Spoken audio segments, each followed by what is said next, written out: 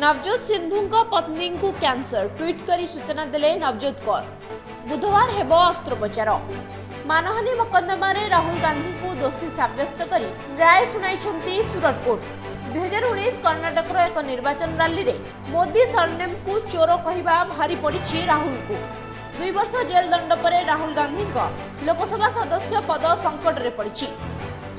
Kurt र राय पर tweet गरि प्रतिक्रिया देले राहुल गान्धी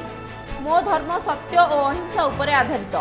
ସତ୍ୟ ମୋର ଭଗବାନ ଓ ଅହିଂସା ଏହାକୁ ପାଇବାର ସାଧନ ଏହିଭଳି ପ୍ରତିକ୍ରିୟା ରଖିଛନ୍ତି ରାହୁଲ ଗାନ୍ଧୀ ବିଶାଖାପାଟଣାରେ ଭୁଷୁଡ଼ିଲା ତିନି ମହଲା କୋଠା ଚାଲିଗଲା ତିନି ଜୀବନ ରେସ୍କ୍ୟୁ ଅପରେସନ୍ ଚାଲିଥିବା ବେଳେ ପାଞ୍ଚ ଜଣଙ୍କୁ ଉଦ୍ଧାର କରାଯାଇଛି